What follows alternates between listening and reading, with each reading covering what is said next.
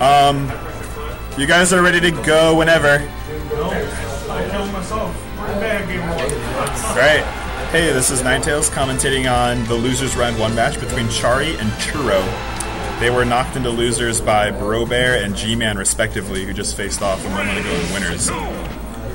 Um, so it looks like game one's going to Halberd, and I believe the customs in play here are Charey's standard custom of Dragon Rush and uh, Churro's standard customs of Gust Cape and oh wow, okay, I was worried for a moment Charey was going to get left behind on Halberd.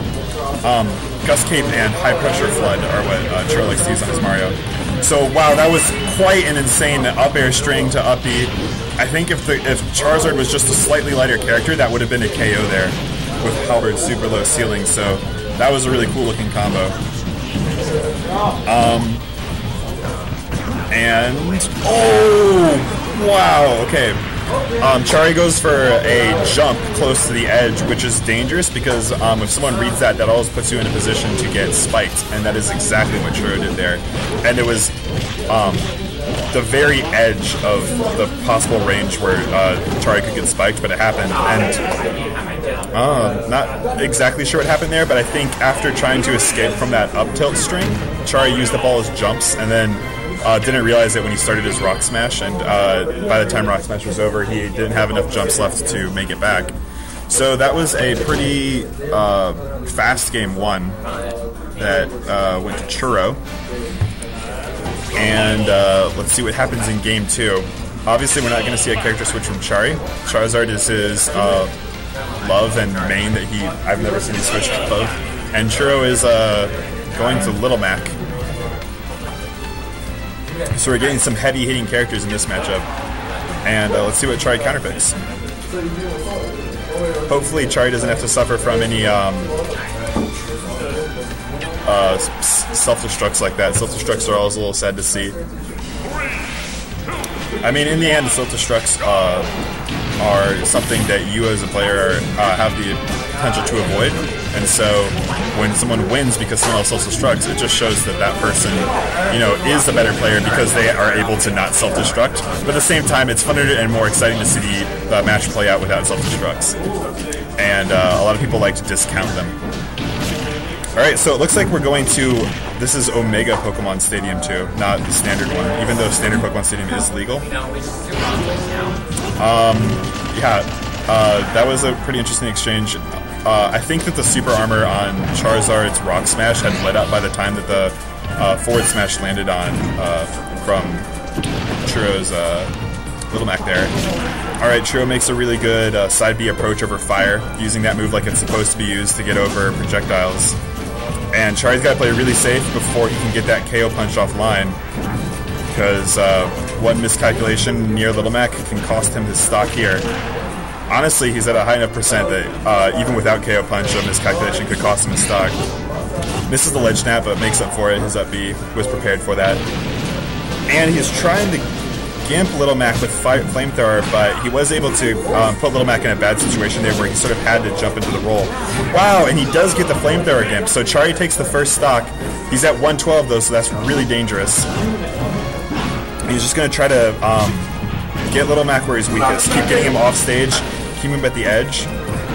Little Mac may have a really bad matchup with against Charizard or Bowser, or these characters with fire like that.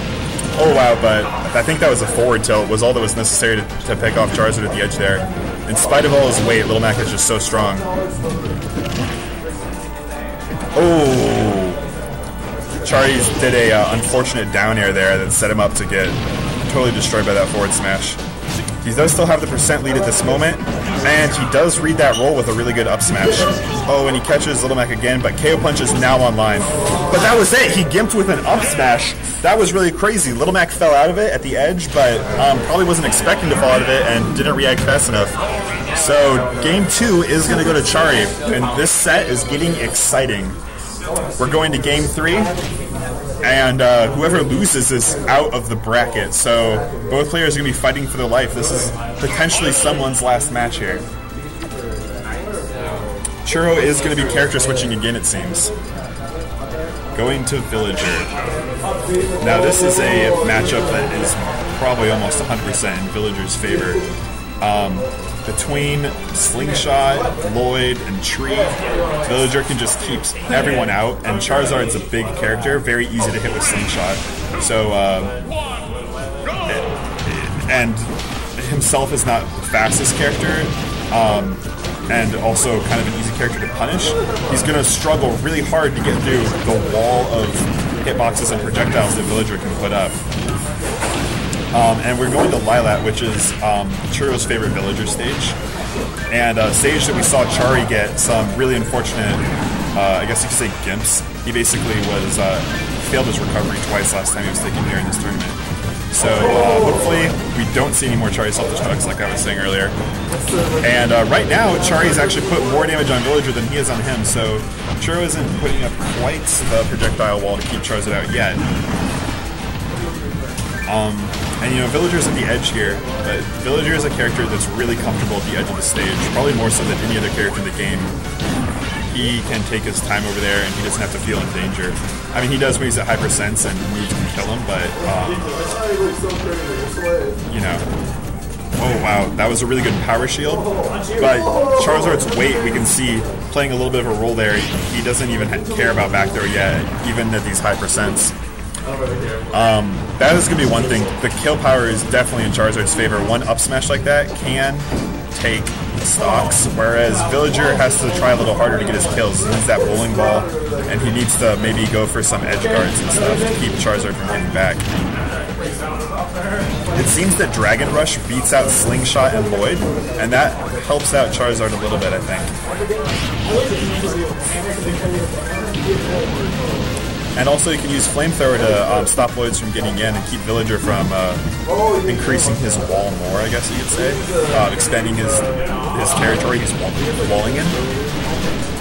Wow, uh, both balloons, but also hit Villager, so he still got his balloons back. Charey is not letting uh, Churro take this stock. He's at 129.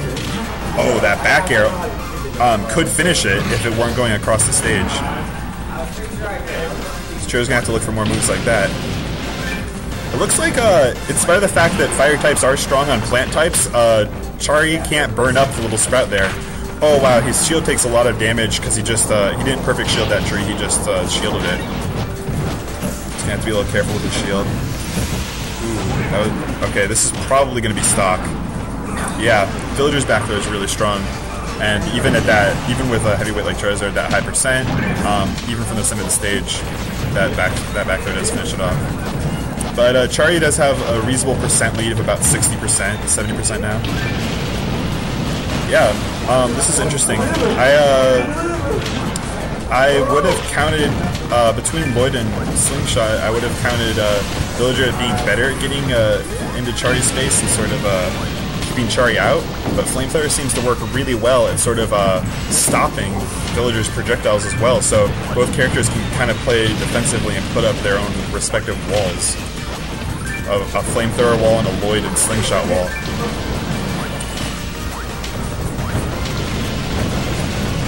Alright. Uh, but uh, Villager does find his way in there, gets a grab, and he's successfully keeping Charey out right now. Charey hasn't been able to get into Churro's space for a while yet. Lands, ooh, good shield on the turnips. Churro's looking like he's maybe trying to go for a kill at this point, throwing out a bowling ball, maybe expecting a roll. Oh wow, that was... Um, I imagine Charey was probably about to try to go for a uh, spike there, but Churro just spaced himself out just a little bit and slingshot to save himself. Oh, that was super close. That um, bowling ball could have finished Charey off, but he came up with the up almost killed uh, Churro. And wow, this is this is getting really really close. This set. This is final match. Both characters are kill percent. They just need to land a kill move. The next person to land a kill move is still in the tournament. These are the turn. This is the tournament stock for whoever loses the set. Oh, that might be it. Charey takes it. Wow, with the surprise down throw. Congratulations, Charey, and good game to both players.